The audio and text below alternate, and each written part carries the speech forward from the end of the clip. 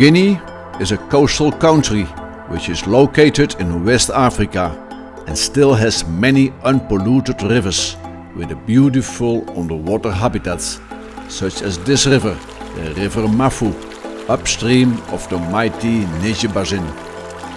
This river arises in the southeast of Guinea and carries relative cold water, probably due the fact that this river flows through savanna steppes at a higher elevation. The Mafou River is a fast-flowing river with a stone-covered riverbed which has been overgrown with aquatic plants. Possibly of the cold water there were very few cichlids in this part of the river. Along the riverbed, beautiful Enteromius species waiting in the current for some food, while a labeo scrapes its food from the aquatic plants. Nannocharax foraged on the small sand places in between the stones.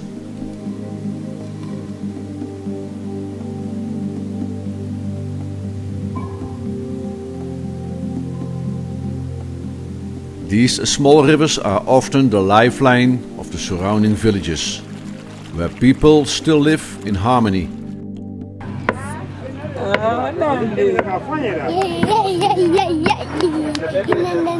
The river Concur has a completely different character, this in the middle part of its basin. The Concur River flows in a lower region and therefore carries warmer water.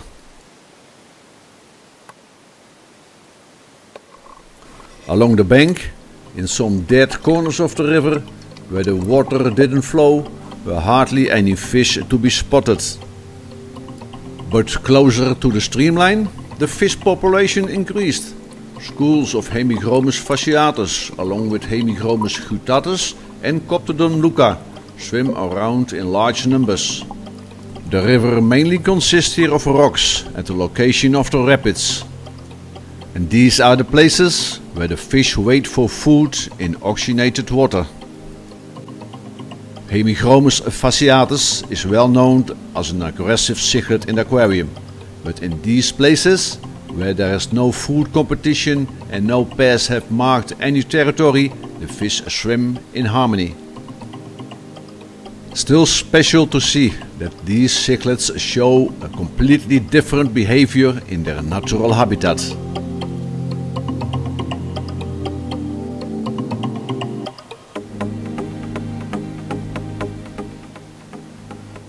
More close to the currents in fast-flowing water, some labeos are feeding on the aufwuchs from the rock formation.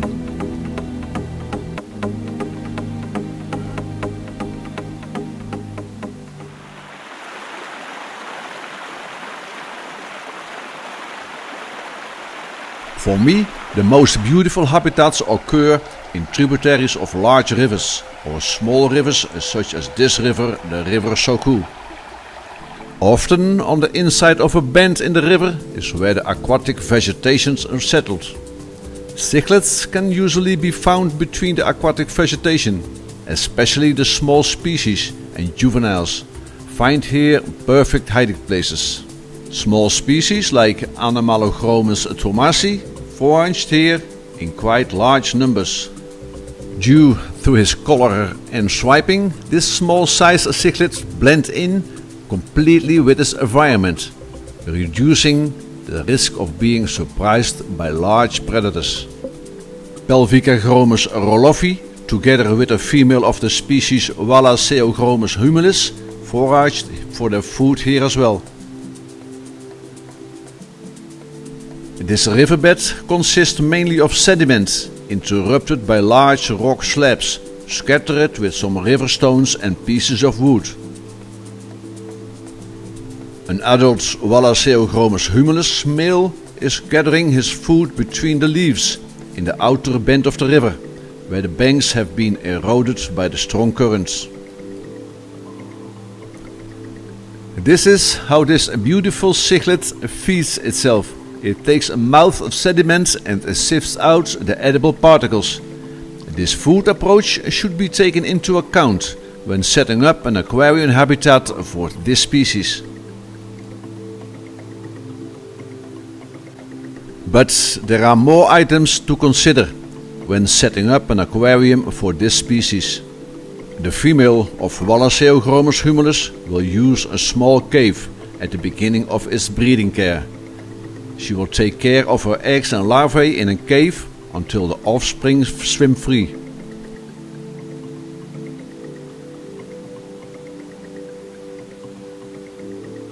Meanwhile, the male swims around to defend his territory from potential predators, a territory which is a few square meters in size.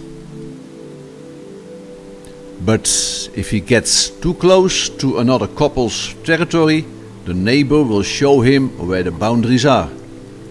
When considering taking care of two pairs in the aquarium, it is advisable to create a visual boundary in the form of some stones or a piece of wood.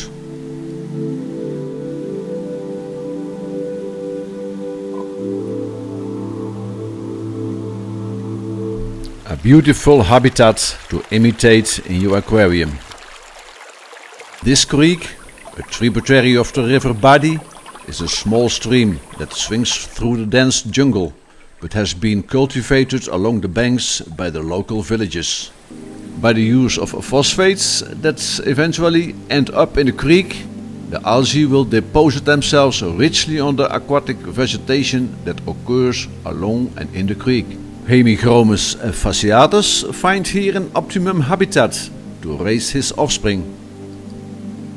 When the female withdraws for a while due to my presence, and at that moment a Hemichromis guttatus appears from behind the vegetation, the young fish also withdraw themselves between the dense vegetation of the bank of the creek.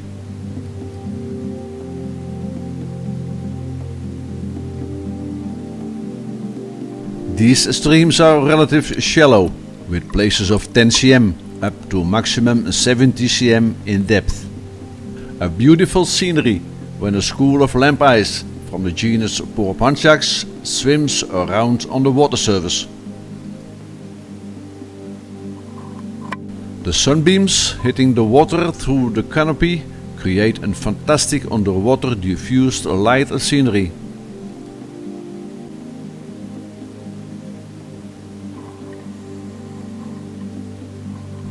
In the deeper parts of the creek, Wallaceochromis rubrolabiatus occurs, sometimes as a pair, but also often in small schools, which what struck me with only one dominant male.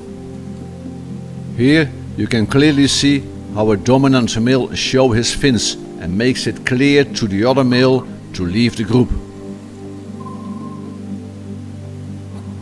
Same situation here.